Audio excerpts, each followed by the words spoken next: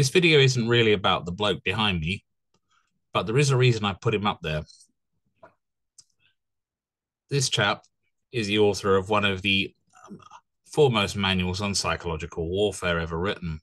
It's still used, although some of the stuff in it is, of course, naturally dated. His name is Paul Myron Anthony Linebarger. If you look him up, you'll find he also has a pen name of Cordwainer Smith. He was rather good at sort of using psychological themes in his work, and that book on psychological warfare tells you how to manipulate people in times of war. And he'd be would know well how to do it. He was a colonel in the US military intelligence division. Now, as I say, this isn't particularly about him, but earlier today we had Mr. Simon Webb going on about the terms AD and BC and contending it was all because of the naughty Muslims they were changed.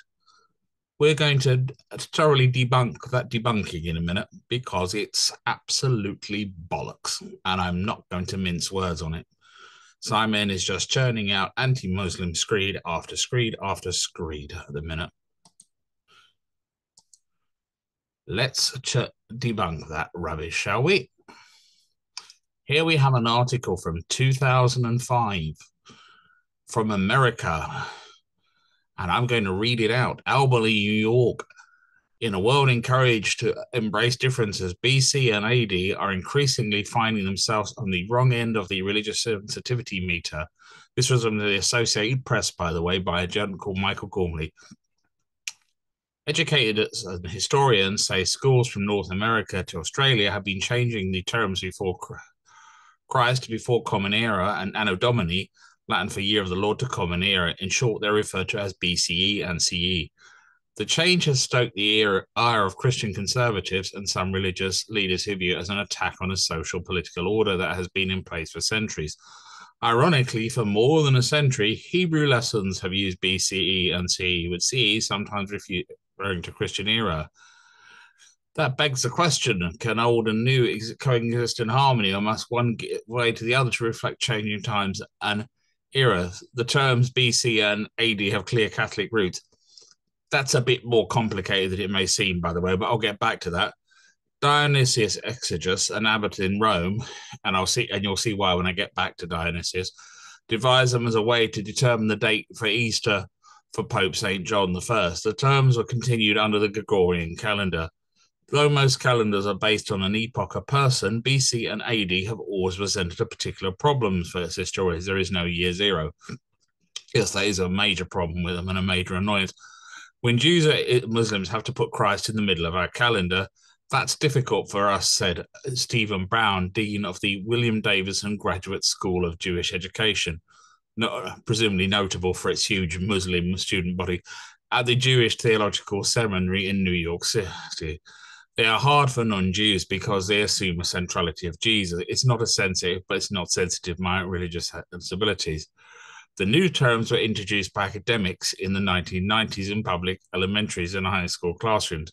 I pointed out repeatedly that this was an American conflict over this that had spilled out from American academia into education in America and drifted over the ocean. Now, somebody asked me what was used then before AD and BC.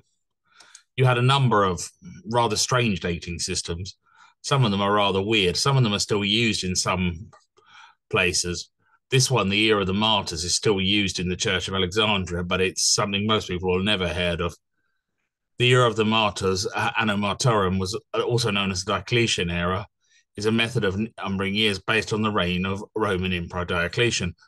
Dionysius didn't want to use this, but Diocletian is regarded as a persecutor of Jew of Christians historically, so obviously he wasn't too keen on using it, but it is still used occasionally Here's Dionysius himself, Dionysius Exiguus, canonist.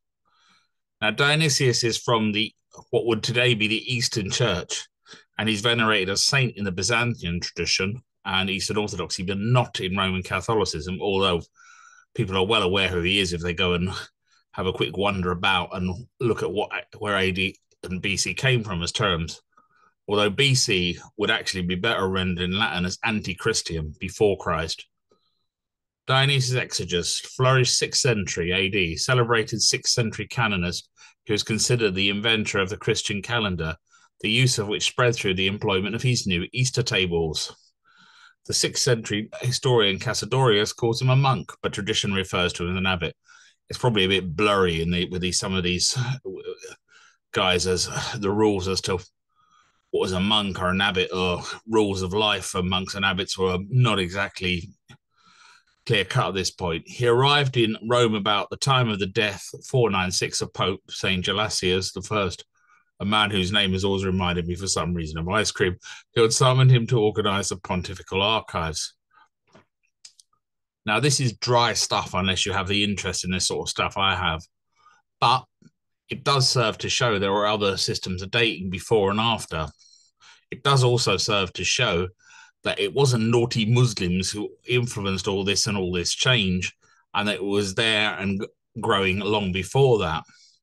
Here's another sort of um, system of counting that was used, ab urbe condita, from the founding of the city. This was used from the traditional founding of Rome. There are loads of others if you look them up. Now, Simon, if you're going to keep knocking out this stuff that sort of is, is intending to tell simplified versions of history, it's getting quite silly at this point. And that the reason I put Mr. Smith's name and book up at the top back is one, Mr. Smith was a noted academic, and two, anyone reading it will soon learn how psychological warfare of this stuff works and how you play with people's heads to accomplish this sort of thing and create images of the enemy, which is exactly what's going on there constantly, every day, non stop.